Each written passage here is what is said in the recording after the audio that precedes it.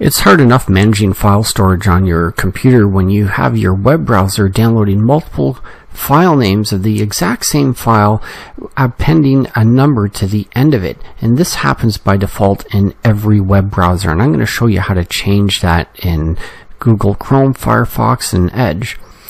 So this is looking at Firefox. So we'll go up to the File menu and go down to Settings in the Find settings, you can type in download and you'll see that it says save files to downloads. You could browse and change where you want to download it to, but it's going to just keep appending a number to the end of any files that already exist.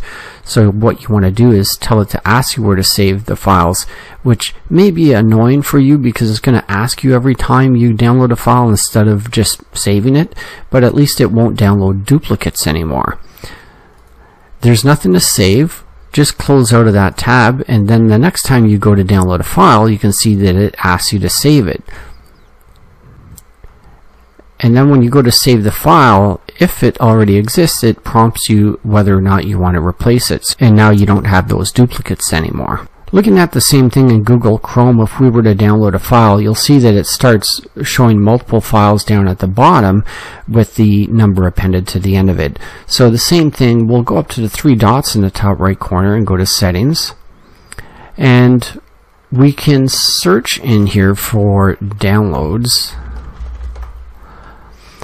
and it shows the location which you can also change and then ask where to save the file before downloading. So we would just turn that on. There's nothing to save.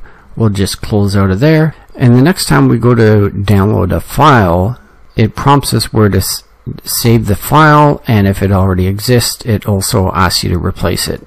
Finally, looking at Microsoft Edge, if we go up to the File menu and go into Settings, you could either type in download to look for it, but the downloads are very clearly marked down here in the middle.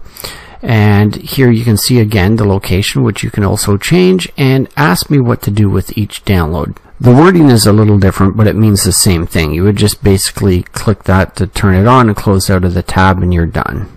And if you found this video helpful, please do give it a thumbs up and consider subscribing for more. Thanks for watching. Bye for now.